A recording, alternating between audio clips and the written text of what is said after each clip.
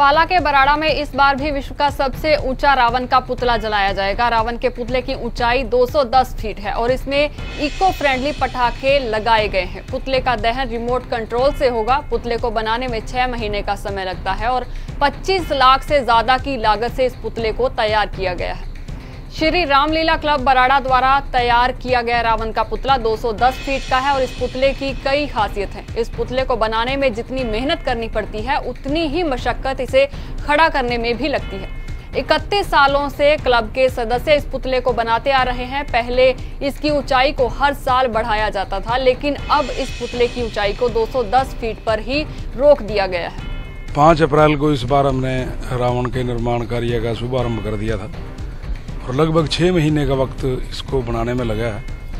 और 60-70 हमारे क्लब के कलाकारों की टीम इसमें लगी रही, जो shift wise day and night काम करके उन्होंने इस रावण के पुतले को तैयार किया है। और लगभग 25 लाख रुपए की लागत इस पे इसके निर्माण कार्य के बीच में खर्च होती है, जो हमारे कुछ क्लब के मेंबरों द्वारा और हमारे द्वारा ही की जाती है। और इसमें जो हम आतिशबाजी यूज़ करते हैं वो इको फ्रेंडली आतिशबाजी यूज़ करते हैं जो बहुत कम मात्रा में प्रदूषण फैलाती है। और वो स्पेशल काशी से ऑर्डर पे मंगाया जाता है उसको। वही इसके बीच में इको फ्रेंडली जो क्रैकर्स हैं और आतिशबाजी है वो इको फ्रेंडली इसमें यूज़ की, की जाती है।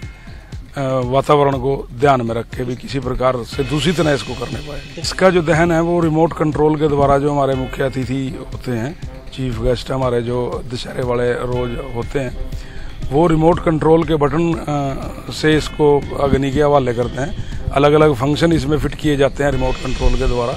हर बटन से अलग इसके रावण के पार्ट में विस्फोट होता है।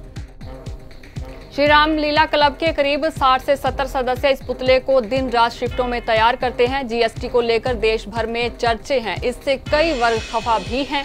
इस जीएसटी का असर इस रावण के पुतले पर भी पड़ा है। इसको बनाने में आने वाला खर्च इस बार काफ़ी बढ़ गया है। हर सामान पर 12 से 18 प्रतिशत तक जीएसटी देना पड़ेगा।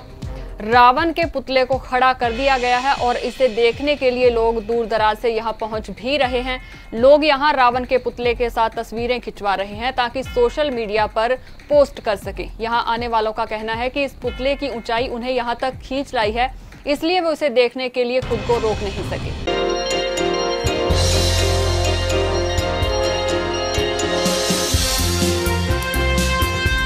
For good health, please subscribe A1 Healthcare. For better music, subscribe A1 Music. For best informational programs, please subscribe A1 Punjabi TV.